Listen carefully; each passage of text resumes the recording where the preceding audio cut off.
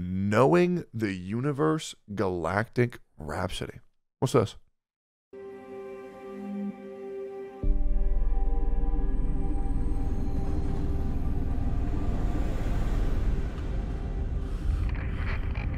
Hey, like a big old egg. Cute. We will have to face a reality nobody would have imagined, not even the best sci-fi movie, the Holy shit. system that we have detected. Wow.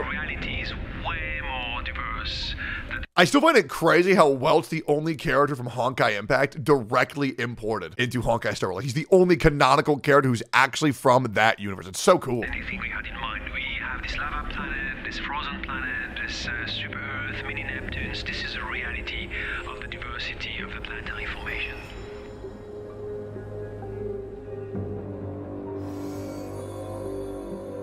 Himiko? Guys, Himiko died in Honkai Impact 3rd. You think that's the same Himiko from Honkai Impact 3rd? You dumb shit? She died. I mean, like, Welt actually traveled a universe to be in Honkai Star Rail. It's, it's, dude, the Himiko and Star Rail and the Himiko and Honkai Impact 3rd are not the same. They're different, bro. They're different.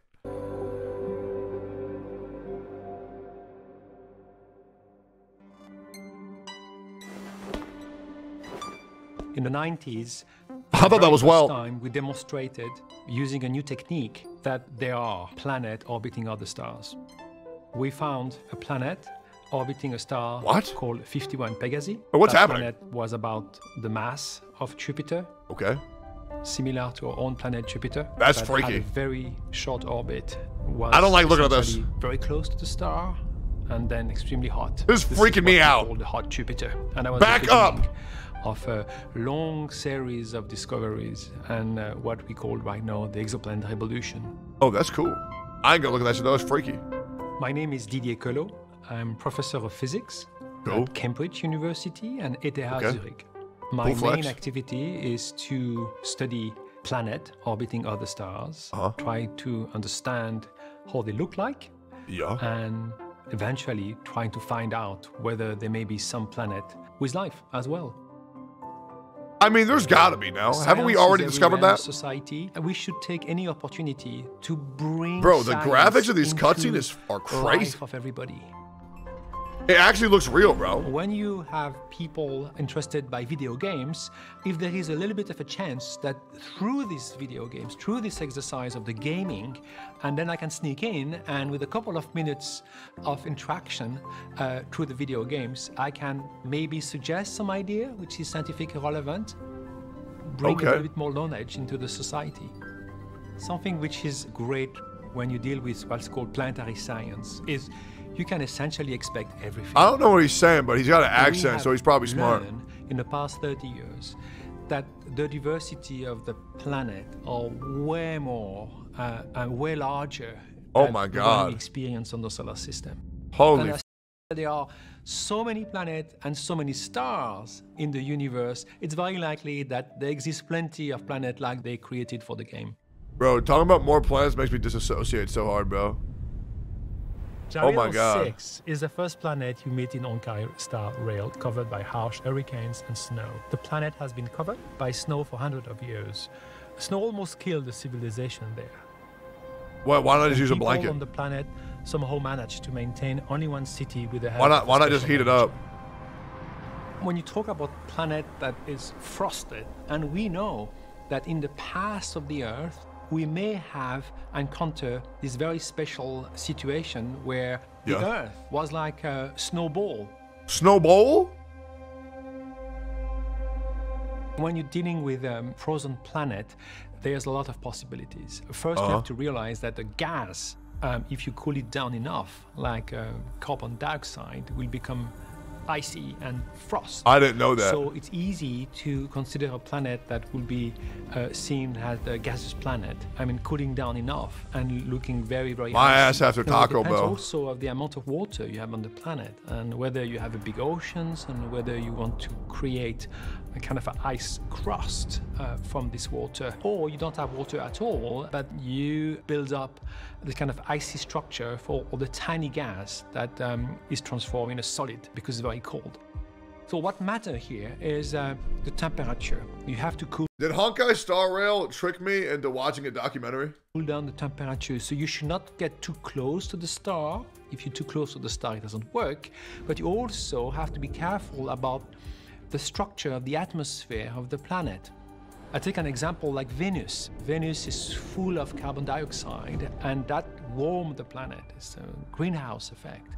Well, if you remove this and you can bring gas that is cooling the planet as well, and that happened on Earth, and uh, the Earth had way more uh, carbon dioxide in the past because of the rise of life and a lot of production of oxygen. That was one of the big effects called the Great Oxygenation Event What the f- atmosphere of Earth has been transformed, and at that time the temperature equilibrium was dramatically changed, and the Earth became what we call a snowball. So it Snowball? was exactly the kind of icy planet you will encounter in the game, and I was a result of a dramatic change of the nature That's of the so cool. atmosphere of that planet.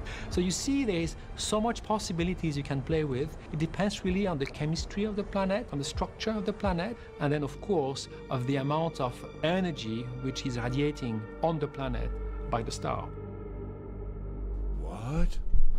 Okay, so like so what has happened in the last 30 years? So like there was a Earth was a snowball, and then that's not good. There was like a meteor or something, right? And then there was like a new Earth, or there was like wait. So is Honkai Star Rail real then, or like?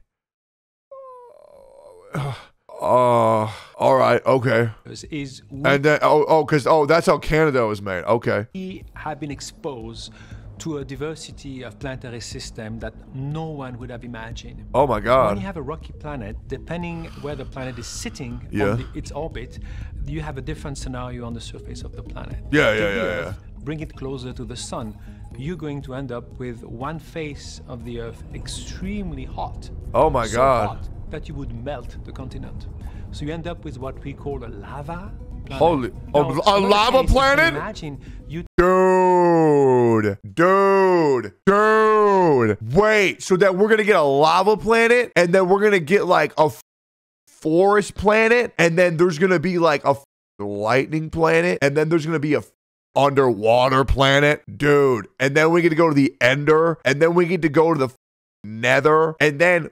Dude, Fox Girl Planet, Cat Girl Planet, Dog Girl Planet, dude, Blue Girl Planet, where everybody's ass looks like Widowmaker. You take the Earth and you make it much bigger, much bigger than the Earth. Not one Earth mass, maybe five, ten times the, the mass of the Earth. Oh my And God. a lot of carbon as well. That's a have big Earth. Carbon on the planet, and then you have this uh, higher mass. Higher mass means pressure. The more mass you have, more pressure you have on the planet. When Okay. the carbon the pressure, you create diamond. It's exactly how you create diamond on Earth. And that's what Asian uh, Asian families do to their kids when they're in school. See, they they pressure them with unrealistic expectations until they break or they turn into diamonds. I get that. So this kind of a very massive uh, planet, you could imagine they should be full of diamond. Astronomy is a wonderful topic for research because we are studying um, a specific element, which is the universe.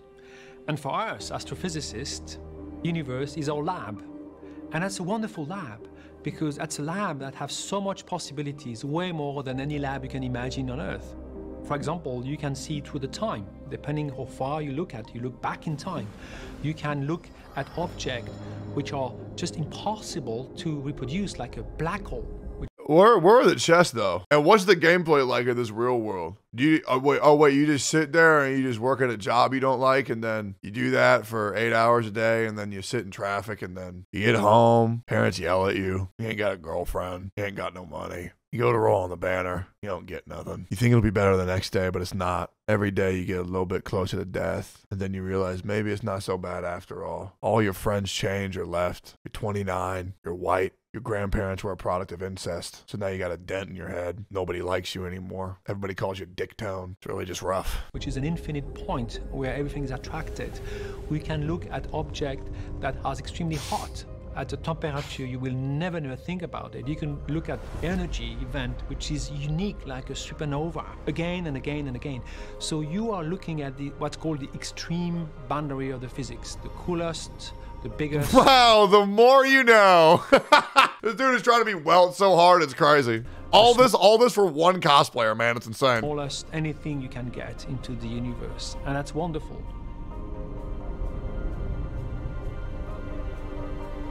Possibly one of the biggest questions of the humankind is: Is there any life outside the solar system? Yeah. The cat girl's got to be out there. Fermi paradox was half a joke when Enrico Fermi said, "Well, if there is plenty of life, They- in the gotta be out so there. Why don't we see it?"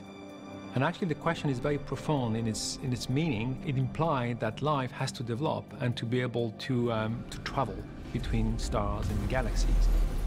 This guy won the Nobel Prize. Wait, how many stellar jade does that give you? we are not able to see it. So if there is no life traveling between galaxies, it means that maybe there is a possibility that when life developed the capability to do it, it just stopped. 10? It's just an achievement? Oh, okay, whatever. Just looking at the thermonuclear weapon we have on Earth right now, we have. We'll probably get that one eventually. To travel between stars, but are we going to survive until we are reaching that stage? And that is what is behind, uh, really, the Fermi paradox.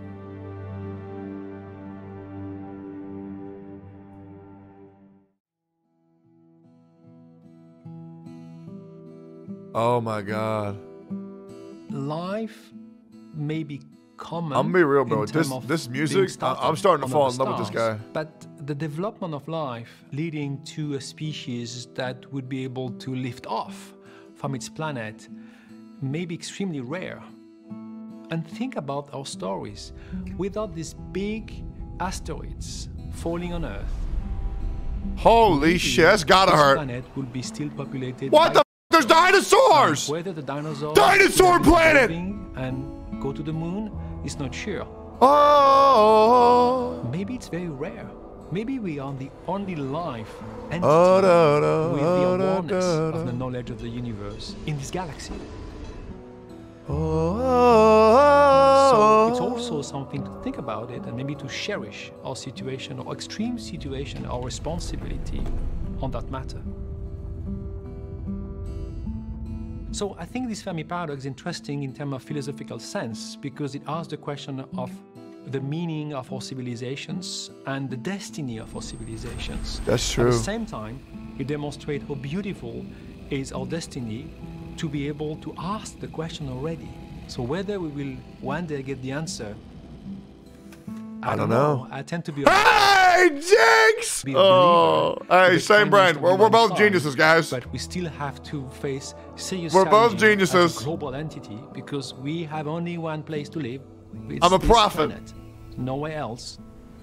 And we should really, as a global populations, better learn how to address it together. Bro, that does not exist. Tell me that's not real. Is that real? Wait, is that real? If that's real, I want to go there. Dude, that, that, is that the DLC? Is that the new, wait, is that the new expansion pack? to use it wisely if one day Nah, we that's don't have fake. any hope of all species That's to fake. travel to other stars. God, I f- love this game, bro. I don't know what that guy said, but he was cute, so he he was probably right. He got an accent too. All right, cool.